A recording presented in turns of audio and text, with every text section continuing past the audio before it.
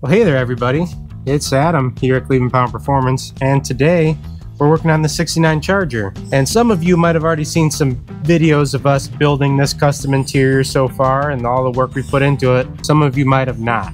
But you can definitely go to our YouTube page and check out all those previous videos if you want to and see what it took to kind of get us to this point. But today I kind of want to go over what we have done, what's completed, and you can start to see the vision really come into fruition here let's go ahead and get started.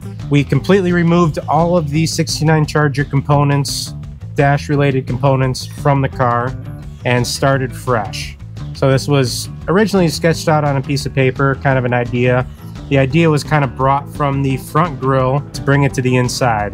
So those front grills have the two kind of recessed headlight doors, the flip up headlight doors, and then they had that center peak with the vents on each side. So that's kind of what inspired this. We have got the two inlays on both sides, and then it comes to the center peak with vents on each side um, to really draw that inspiration from the front of the car to the inside of the car. As we start rolling through components, kind of looking like that, that isn't an old school steering column. Well, it's not. It's a C6 Corvette column.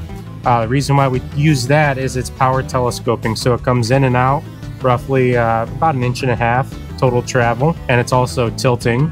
The customer wanted a like flat bottom steering wheel, modern wheel, so we're just using this one as mock-up right now. But he wanted that modern column look and feel. We have classic instrument gauges. Those are all mounted in place up here. And then as we continue further, we have four dash vents all four mechanisms underneath are from a like 2014 Mustang. Um, they were the two center dash vents, and they had like a, a cigarette lighter in the center. They were up here, but I cut them apart, made and machined these custom trim bezels, and mounted that whole assembly behind. You can also see the other two that are down here in the corners. So you have four vents, two in the bottom corners, and then two in the center. Then we have our Pioneer touchscreen radio. It's roughly, I believe, a 10 inch screen You can control it very nicely. It'll have a backup camera, um, control all of the speaker components that we're going to be looking at here in a little bit. And then further across, we have our glove box. Uh, kind of in process of the door, but this door is actually going to flip up, and there is a whole glove box assembly underneath, which we can take a look at if I peel this tape up here.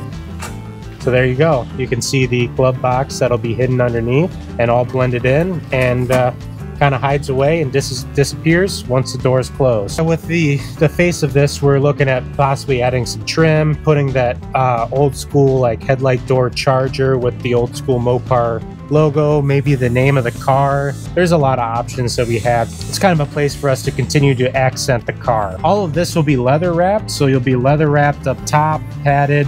Got our defrost vents. We've got our factory front edge of the 69 Charger dash here and that's to keep this complex shape and how it attaches to the front of the windshield. We did change how the front of the dash attaches. So originally in these cars, you had to remove the windshield to get the dash out, which for us um, might cause some issues down the road if we ever need to service any of these multiple aftermarket components that are in here. So what I've gone ahead and did is all of these bolts that you can see lined across here, these are just actually locating pins. So these will remain in the car and the dash is able to slide back and out through other mounting locations that are on the sides and underneath the dash. So even with the windshield in this car, you can still pull this dash out in case you need to get to some hidden component that's not easily accessible with the dash in the car. So we're going to have leather wrapped on top, leather wrapped bolster, and then all of these components will be painted or finished in a um, kind of an alternating color scheme. And there will be a light track that goes all the way around the dash.